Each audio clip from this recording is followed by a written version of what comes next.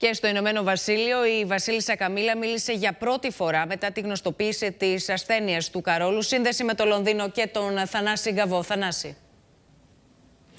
Χθες το βράδυ η Βασίλισσα Καμίλα παρέστη Λένα σε μια φιλανθρωπική συναυλία στον καθεδρικό ναό του Σόλσμπερι και ένα από, ένας από τους συμμετέχοντες χαιρετίζοντάς την εξέφρασε τη λύπη του για τη διάγνωση καρκίνου του βασιλιά Κάρολου Εκεί λοιπόν η Καμίλα είπε πως ο σύζυγός της τα πάει εξαιρετικά καλά υπό τις ε, συνθήκες, ότι είναι πολύ συγκινημένος από όλες τις επιστολές και τα μηνύματα που στέλνει το κοινό από παντού και ότι αυτά τα μηνύματα είναι πολύ εμψυχωτικά.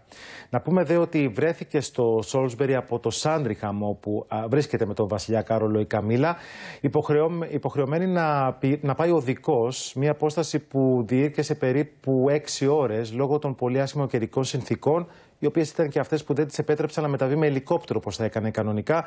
Αλλά όπως μεταφέρεται από βασιλικές πηγές, πήγε εκεί διότι έχει διαβεβαιώσει τον Κάρολο πως η διάγνωσή του δεν θα αλλάξει τουλάχιστον το δικό της πρόγραμμα και θα εκπροσωπεί το θεσμό της μοναρχίας.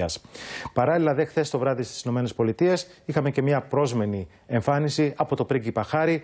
24 ώρες μετά την επιστροφή του στο Λος Άντζελες από το ταξίδι αστραπής στο Λονδίνο, βρέθηκε στο Λας Βέγκας και παρουσίασε ε, τα βραβεία, κάποια από τα βραβεία για το αμερικανικό ποδόσφαιρο εκεί.